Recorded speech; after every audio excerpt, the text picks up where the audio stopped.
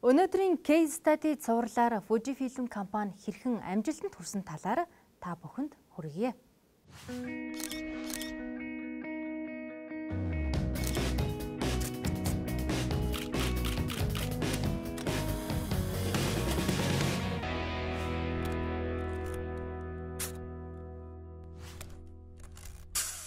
Мянгасан 34 онд Япон улсын засгийн газрын шийдвэрийн дагуу гэрэл зургийн хальсны үйлдвэр байгуулсан ба энэ нь өнөөгийн Fuji фильмийн эхлэл болох Fuji фотофильм хязгаарлагдмал хариуцлагатай компани байв. Fuji фильм нь Япон улстай гэрэл зургийн хальс, гэрэл зургийн камера, хальсны технологиор тэргүүлсэн төдийгүй дэлхийн зах зээлд өрсөлдөхөц компани болсон байна.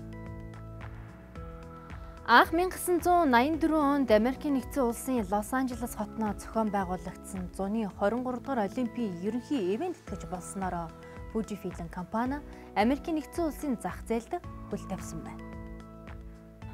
Улмаар 1988 онд Америкийн нэгдсэн улсын өмнөд Каролина мужид үйлдвэрэн байгуулж цаашлаад Америкийн нэгдсэн улсын зах зээлд тууштай өрсөлдөхөөр шийдснээ тухагласан байна. Fujifilm нь гэрэл зургийн зах зээлийг эзэгнэгч Kodak компани эсрэг хямд өмнөр өрсөлдөж эхэлсэн байна. Kodak компани энэхүү тактикийг үйл ойшоож өмнөө бууруулахгүй утсаар 5 жилийн дотор гэхэд Америкийн нэгдсэн улсын зах зээлийн 17%-ийг Fujifilm-д алдсан байна. 1997 оны байдлаараа гэрэл зургийн салбарт дэлхийн хэмжээнд хоёр том өрсөлдөгч компани байсан бөгөөд Нь дэлхийн зах зээлийн 44%-ийг, Америкийн нэгдсэн улсын зах зээлийн 70%-ийг, Япон улсын 7-оос 9%-ийг дангаараа эзлэж байсан болов хоёр дахь том компани болох Fujifilm нь дэлхийн зах зээлийн 33%-ийг, Америкийн нэгдсэн улсын зах зээлийн 17%-ийг, Япон улсын зах зээлийн 70%-ийг тус тус эзлэж байв.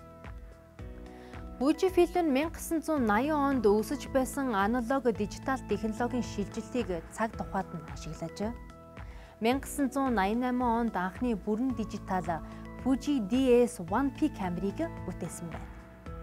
Тухайн үедээ энэхүү камер нь 10 зураг хадгалах багтаамжтай, ой санамжтай, 1.1 мегапикселийн нягтралтай, 100000 ам долларын үнэтэй зарагдаж байсан ба Энэ нь зөвхөн сэтгүүл сонин мэдээллийн компаниудын хэрэгцээнд зориулсан байжээ.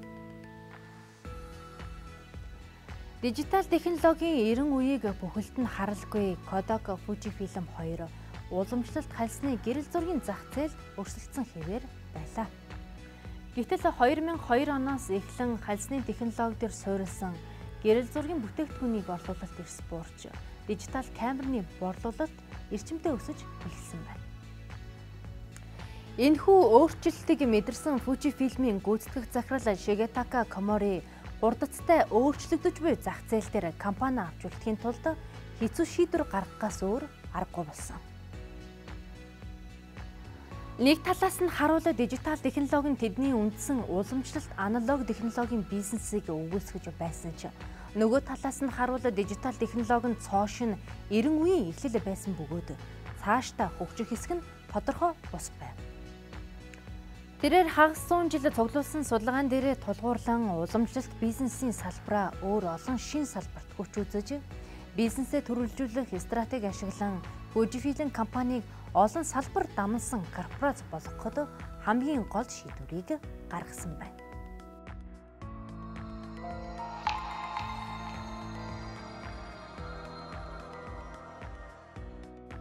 Хамгийн сонирхолтой жишээ нь тэд гэрэл зургийн хальс үйлдвэрлэхэд хэрэгтэй коллаген бодисоор гоо сайхны бүтээгдэхүүн үйлдвэрлэж эхэлсэн нь бизнесийн салбарын нэг гайхшруулсан байна.